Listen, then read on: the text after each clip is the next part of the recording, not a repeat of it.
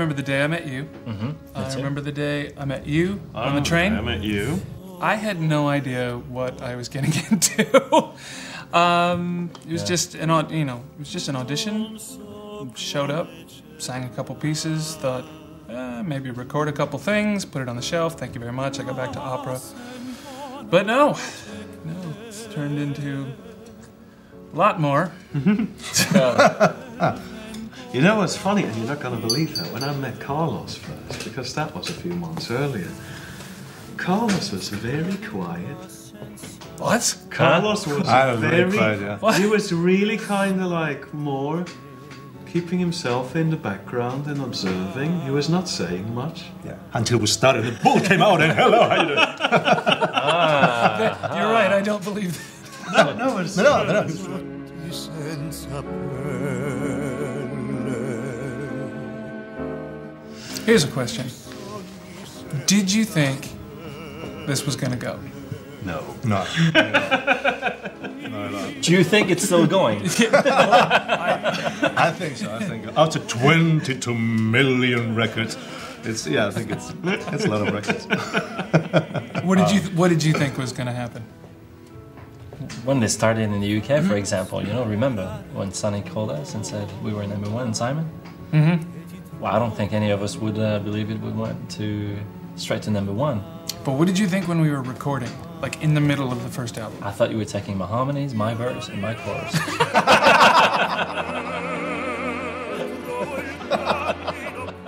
Really, over the last five years, we've pretty much grown together as a family. I mean, when we started five years ago, we didn't know each other. None of us knew each other at all. We had to forge a relationship through mutual trust in each other as artists, through mutual respect of the music.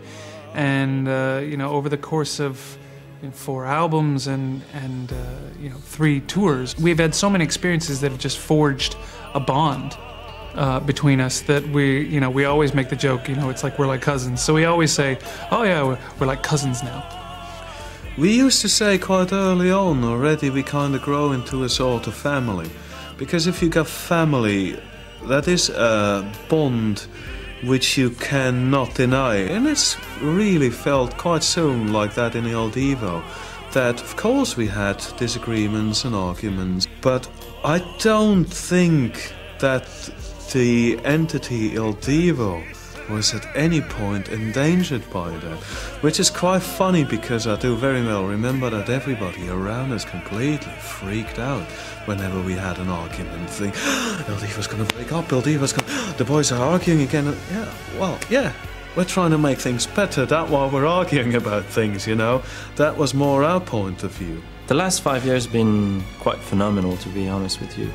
It all started, as you everybody knows, you know, we didn't know each other at all. We were put together into a studio environment, and sing some songs, pop songs in different languages, in that kind of a very strange way, operatic way, which was I was absolutely not familiar with. We all came from 10, 15, 20 years of solo career, and we were thrown together in this experiment, Il Divo, forming a band, three classical singer, one pop singer, interpreting pop songs.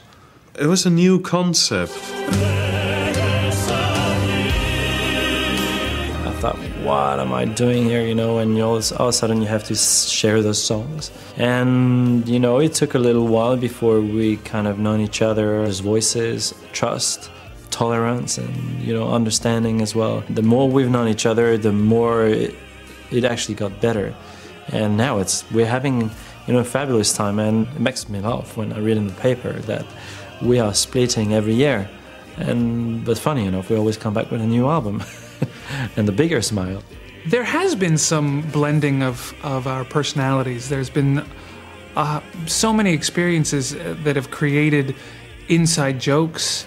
Um, there, you know, just a lot of funny moments. The guys are funny guys, and there's just a lot of funny moments. Most of them completely unmentionable. Why are you filming him? Other Divo. the humor style has merged. Our way of speaking has merged. You know, we all speak in English, and you know, for the other guys, it's a second language. But I think we've all grown for having known each other through this experience. We only need to look to each other's eyes, and then we we can know what the other one is thinking or what the other one is going to say. Um, in the artistic way, it has changed a lot because obviously I was coming well to sing always as a solist, and and then suddenly I mean to to to share a song and to share the stage with other three amazing singers. It has been well fantastic experience obviously. Also has changed a lot my life because I got married with Charlene, and uh, well it has been everything an amazing experience since since then. Experience that I don't regret one minute. We reach so many people with our music. We get the possibility to travel so much and really perform to all the world. And that is just an immense uh, adventure and an immense opportunity. We're very fortunate for that, I know that. But it is it's exceptional, it's great.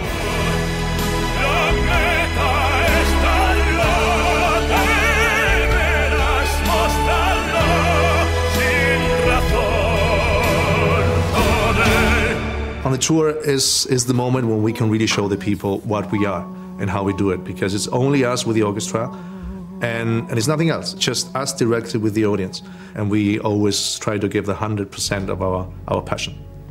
I like the fact that we never showed up on stage like we thought, you know, you played to 1.5 million people and think, wow, another gig. You know, we've always turned up, like you said, really happy to just go on stage and, and perform and try to make, again, you know, a different performance every time. That I really like that about Il Divo, that we are very passionate. It's not just like, okay, we go on stage. Mm. You never know what's going to happen. That's Yeah. the joys of live performance. You practice and practice and practice, and even after 200 shows, and you think you know what's going on, and at any given moment, it can all just go right over to the left, and you're all of a sudden in bizarro world, and and you can't you can't prepare for these types of things. You just you just have to enjoy them, enjoy the moment.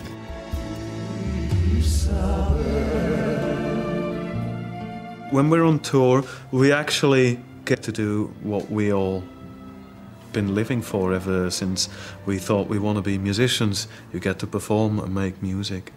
My favorite moment in the performances was in the first tour when My Way was the end end of the show.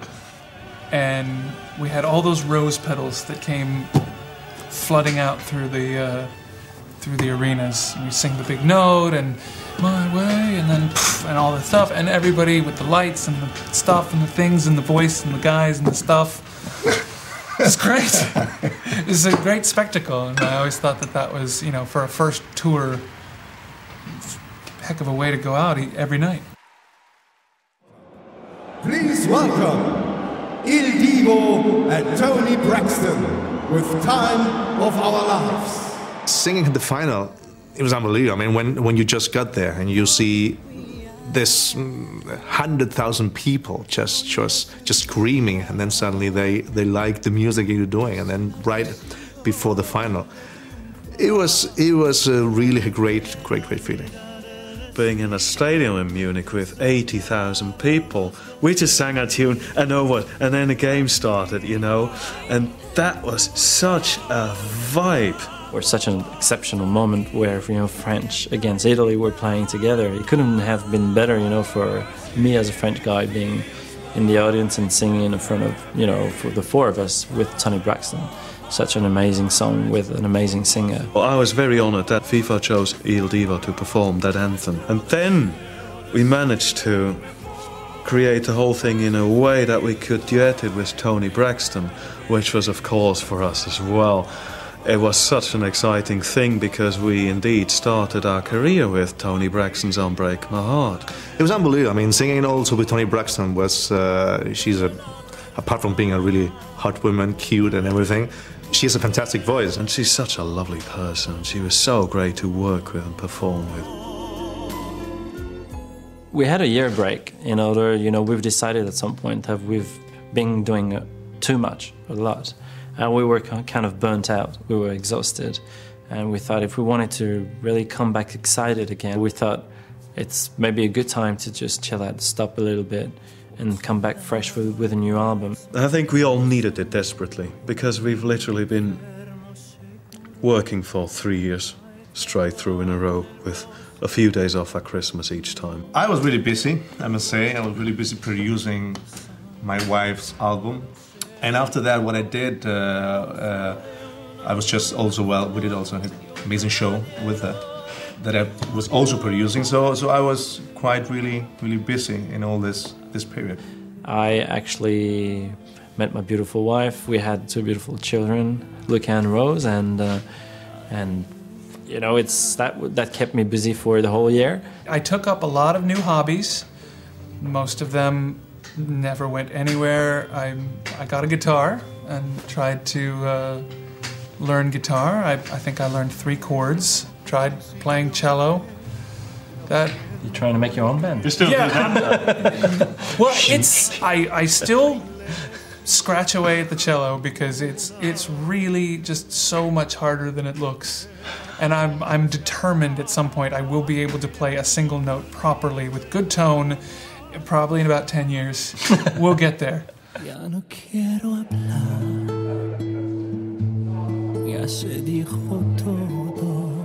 We are preparing our first day of photo shoots and uh, really happy. Really happy to, to bring out the next album.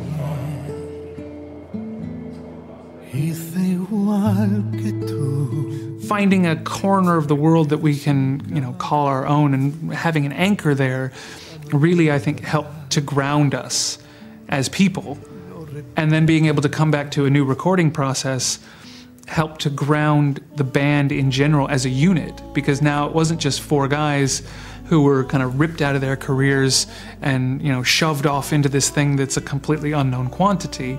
Um, so when we all came back to the studio, everyone was really very well rested. Everyone was was well centered, and I think it reflects in the vocals that we've that we've been able to come up with. I was really looking forward to join with the three other guys up again, form Il Divo again, and do what we love to do and we've done so well together over the last three years. Every time we go back to the studio, it gets easier and easier uh, to be able to work with these guys because they are consummate professionals and they really do care about each and every track as we're recording it. And they give 110% and it becomes easier because we know each other better, we know each other's personalities, we know each other's voices, we know each other's likes and dislikes, you know, musically. It's like all of those initial concerns, all of the initial fears of, is this going to work? It's not there anymore because we know it works. So really, we, we have the luxury to be able to like relax, focus on the music, and have a good time. We know each other so well that, that it's it's really easy to go to the, to the studio and just just record the parts. And and also we right now know the structure um, of Il Divo sound thing that we didn't know at the beginning.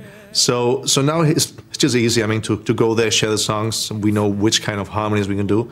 I have to say, this album has probably been the easiest, and I find that with the vocals actually, I find that they, they know, they blend so well. You can hear that uh, when actually one is finishing, the other one is overlapping the other one, and in that sense, you know, it has never created any tension whatsoever. It's just been a pleasure to be called the, the Promise.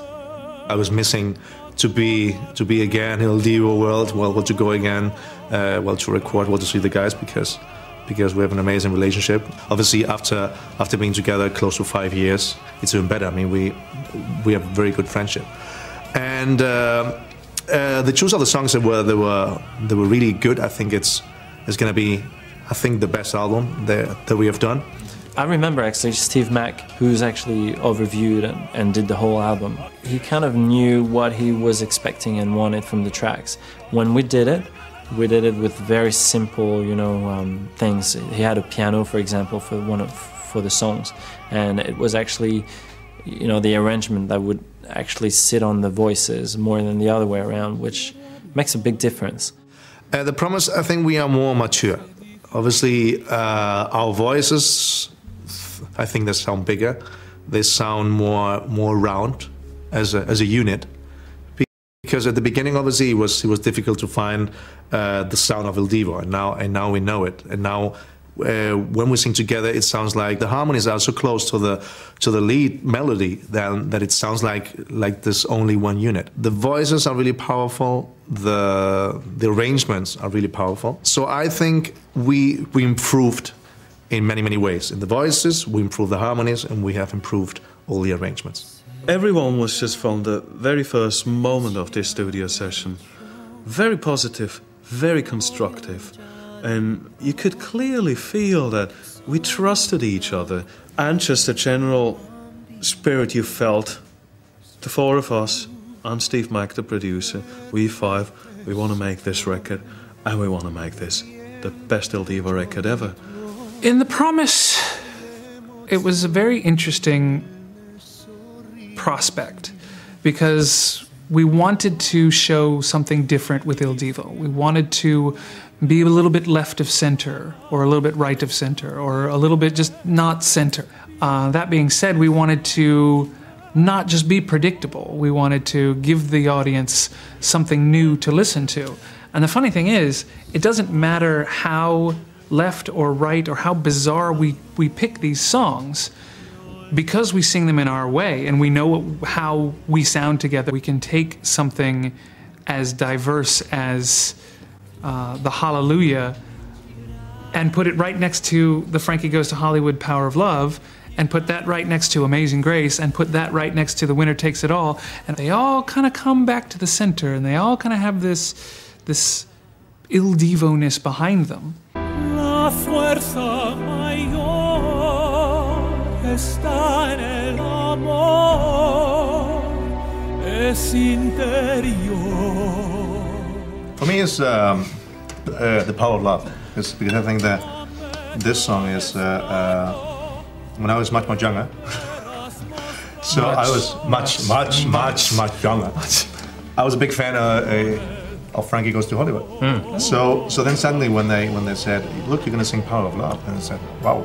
It's going to be a little difficult for us to, to maybe make this song work, and obviously, uh, this was one of the songs that, that, that we tried several times, and at the end, I think we, we did an amazing version that hopefully is going to be there for the story after 100 years. no, I think it's, it's, it's one of the best versions.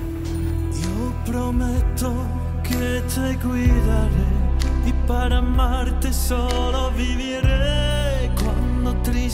I would have expected that to be much more difficult actually, because it's like like on the previous album, uh, Nights in White Satin.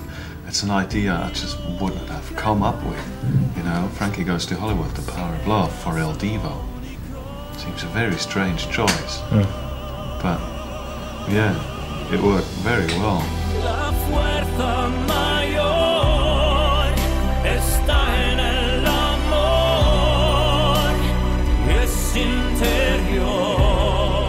What I've heard, which I'm very proud of, um, that our version, that's the first cover of this song that has ever been made because the original composer, he did not allow actually anybody else to cover it. Really? Yeah.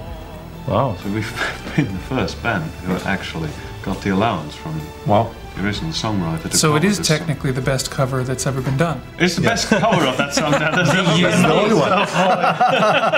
the best and unique. Awesome. Se non ci sei, un'ombra io diventerò. La Promessa is one of my favorite because it, it really has a, has a really uh, Italian flavor. It reminds me a little bit Passerà, kind of. It has not the same melody, obviously, but but has this this kind of of really Italian Italian kind of style.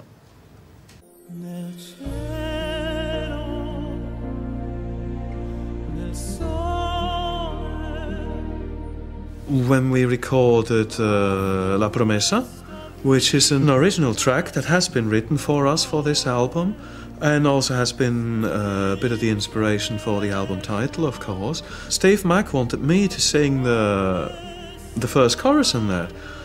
And I thought, yeah, that's great. Um, I, I love that. You know, it gives me really. It's such a beautiful melody. It gives me an opportunity to uh, just to, to, to show the people really the, my voice.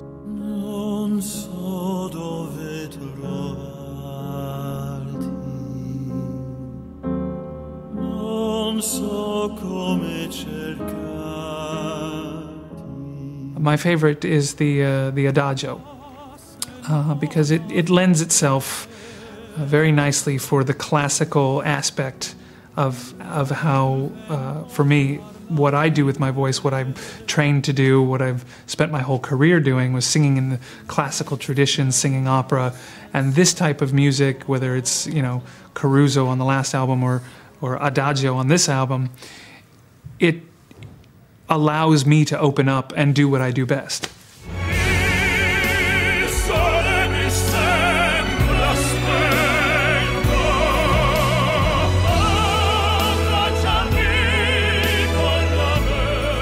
Adagio is an original piece written by Albinoni, and it was originally written for for a string ensemble and an, an organ, and then and then suddenly, I mean, after many many years, um, a woman called Lara Fabian, she's French, she's a French uh, yeah, female singer, she's a very good singer. She did a, a very good version.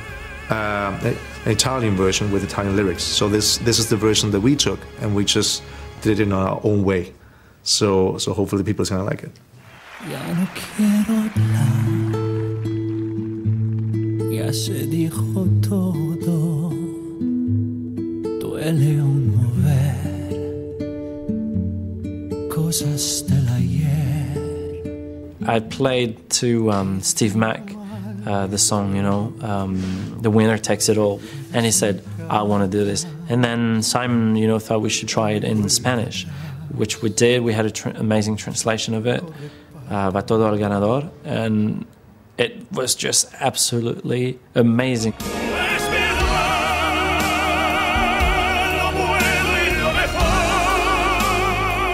When we heard the arrangement that Steve Mac did, you know, it starts again with this very quiet way and then ends up like in a very powerful way. And it's not so much again a track that you would think Il Divo could necessarily do, you know, an ABBA song you could think, well, you can easily fall down on something that wouldn't work. And it's just so classy and beautiful. Amazing grace, how sweet the sound. Amazing Grace, I didn't know much about it because um, it's not very popular in France. It's a song that actually David Miller told me more about as being American. And I was very surprised because when I discovered it, I thought it was such a beautiful melody, you know. When they say we're going to record Amazing Grace, oh, it's got to be easy, you know, such a well-known kind of simple melody. Harmony on top, bit harmony underneath it. It was really tough to make that sound decent.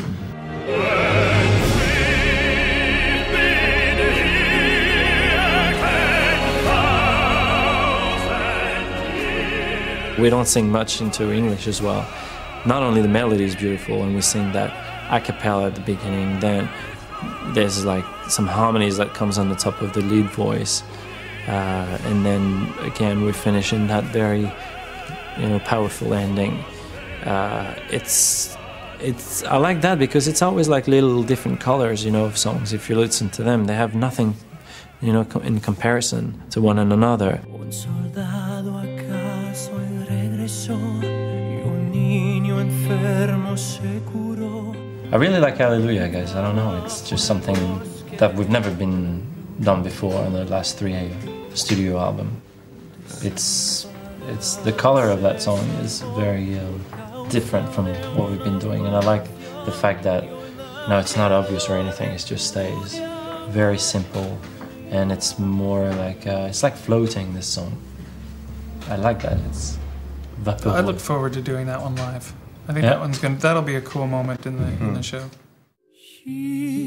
Forse sarà la prima che So a couple of weeks ago, we were in um, Pula, in an amazing place, you know, called the Coliseum, where we've um, made a special performance of the new, you know, album, The Promise. La canzone nata qui che ha ci ha cantato It's a big Coliseum, man. The, Yeah. you, you told me the story. It was about- much bigger than, than, than the other places that we have been.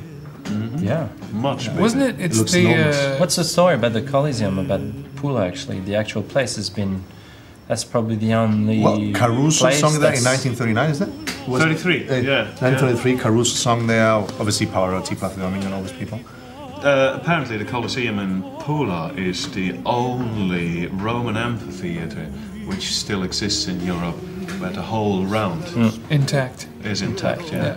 yeah, So that is, probably, again, it's just one of those unique things, and we get to perform uh, to showcase our new album. There, you know, it's just. And it was Coliseum, beautiful too. It was you know the- getting Amazing Grace, catching the sunset behind. It was very cool. Yeah, and to be together with the audience was an amazing experience again. Because after after the year break, it was like, okay, let's see, and it was great. Yeah, see all the fans again, and So I always feel nervous somehow to go back on stage and perform new songs. You don't know what's going to happen there. You don't know if people are going to like the band or like the songs or how they're going to react to it. And it's nice to put that, as you said before as well, on the tour, something live again, you know? You get the uh, straight answer from the audience.